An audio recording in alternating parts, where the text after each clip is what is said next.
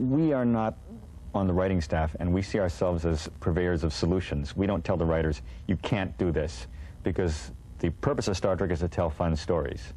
And so if, if they want to do something which initially sounds like a strange credibility, uh, it doesn't, we try not to go to them and say, this is a, this is a silly idea. Instead you say, well, maybe we could do this. And, uh, and the, the writers very, very much want to get things as technically correct as possible, but they appreciate that we don't, we don't fight to them. We, Mm-hmm. uh, we say, okay, if you want to do this, maybe you could uh, fire 100 photon torpedoes into it or something. I know in the Star Trek Encyclopedia you also unearthed something that must be extremely rare. Which A photograph of the first captain of the Enterprise. Oh, you discovered that, did you? yes. Yes, that was quite a nice one. Would you tell our viewers about that one? Oh, what we did was, uh, theoretically, the very first captain of the Enterprise was Captain Robert April, who was referred to but was never actually seen in any, any of the Star Trek movies or TV shows. Right. There was never a picture of him because he was never filmed. So we took an old photograph of, uh, of another Star Trek actor, and we digitally scanned into our handy-dandy Macintosh a picture of Gene Roddenberry and stitched him on, onto this other person's body, and suddenly we had wh- what we think is the first captain of the Enterprise. That is very appropriate that Gene should be the first captain of the Enterprise. Yes. Mike's books are a wonderful reference to the lore of the Star Trek universe. You know, I wouldn't want to be without them. And I know that you will really enjoy them. Now, Jim and Darla will tell you how you can get your own autographed copies of the very special books that Mike has worked on.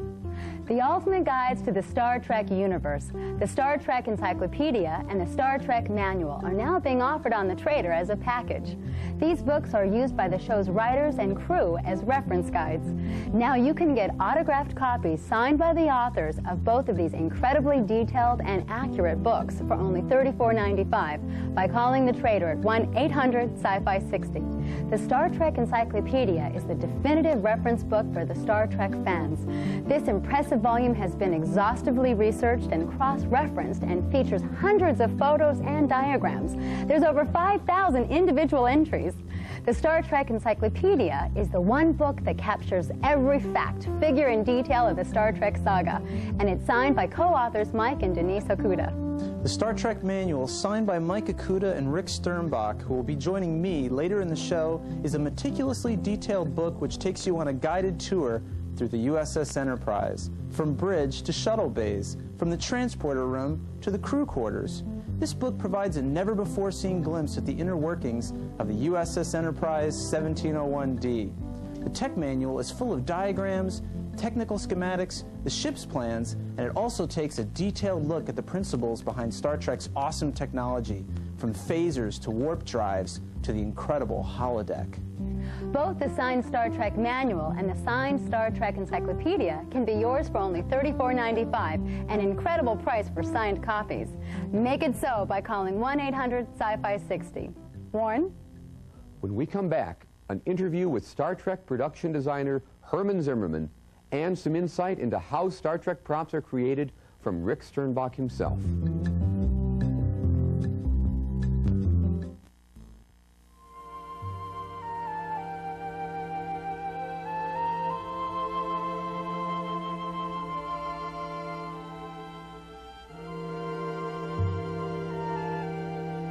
Herman Zimmerman is the production designer for Star Trek Next Gen and DS9.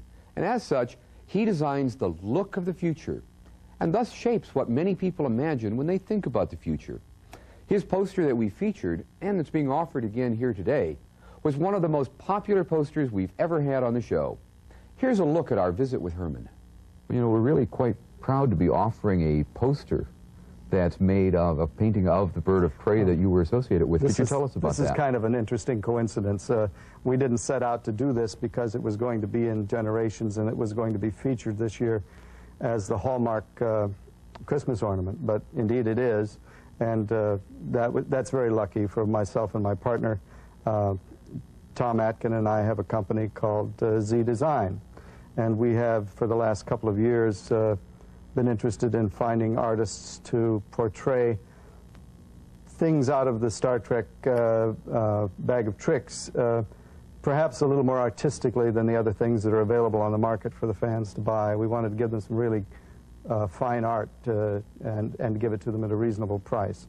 So uh, we have, with the collaboration of a fine artist uh, named, named Tsuneo Sanda, created two pieces, uh, one of which is available now and the other will be available later this year, um, uh, that we think are really fine art, and they depict the bird of prey in flight. A very beautiful piece of art, too. Very Well, nice. thank you. Herman, thank you for joining us. It's a pleasure talking about what you do. Thank you. It's It's been nice having you here. And now Darla is going to tell you how to get a beautiful signed poster based on the design work of Herman Zimmerman. Herman Zimmerman has produced Home to Kronos, featuring these magnificent Klingon birds of prey. This poster stands a grand 24 by 36 inches high and is signed by Mr. Zimmerman in striking gold ink for only $29.95. The grace and strength captured in this dynamic ship almost makes it feel as if it's going to fly right off the print. Dan Madsen, the publisher of Star Trek The Official Fan Club magazine, says this Klingon Bird of Prey poster is one of the finest pieces of Star Trek art ever produced, and I have to agree with him. So call 1 800 Sci Fi 60, and for $29.95 plus shipping and handling, this signed print of Home to Kronos will fly into your life and hang proudly on your wall. Another one of the talented designers working on Star Trek is Rick Sternbach, and he recently dropped by to share with us some of his fascinating work. Gentleman sitting to my left is one of the most respected and esteemed prop designers in the business, and he co authored the Next Generation Technical Manual, which we are featuring on our show today. Rick Sternbach. Rick, your brilliant work can be seen each week in Deep Space Nine and in reruns of Next Generation. Can you tell us a little bit about conceptualizing for the 24th century? Sure. We start out uh, with uh, thumbnail sketches of some of the props, uh, keeping in mind uh, color and style for each of the cultures. Uh, here would uh, just, uh, for example, would be a, a Federation-style scanning device. Uh, we would go from this to a, a more finished uh, drawing. which is I think we have an example of one of those here. Mm-hmm. So this is like a finished uh, one of the doctor's devices from Deep Space 9 correct? Right, and it shows a typical Federation style, which is uh, straight lines and some curves and a certain range of colors. Now you've also designed starships and, and spaceships also, and I Right. think we have a beautiful example here of a Cardassian warship. What's the difference between designing, say, props and set pieces, and then going into a design like this, where you're challenged uh, designing a starship? It's actually just a, a, a matter of size. Uh, a, uh, a starship is a much larger object, but again, we have to keep in mind style and color for each of the races. Rick, thank you so much for coming to the show today and for sharing with us some of your brilliant artwork. I've always been a fan of yours. Among the other Star Trek elements that Rick Sternbach has designed are those fearful starships operated by the Borg. And our next product is a model of the Borg starship. You know, the Borg are perhaps the most alien of all the various races seen on Star Trek. They're biomechanical symbiotes lacking any concept of individuality. Their massive and almost invincible starships were the greatest threat to the Star Trek universe. Eh, other than the network censors and the Nielsen ratings.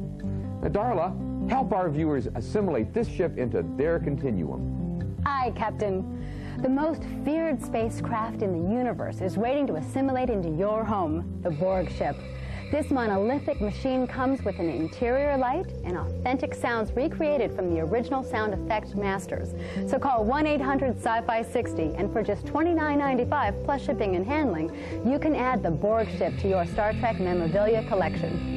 By ordering the Borg ship from the trader, the package will arrive in mint condition, and you don't have to sift through box after box of mutilated packages from your local toy store. This guarantees that if you're a collector, your Borg ship will arrive pristine, which makes this product a better investment opportunity. Don't go away. More Star Trek when we come back.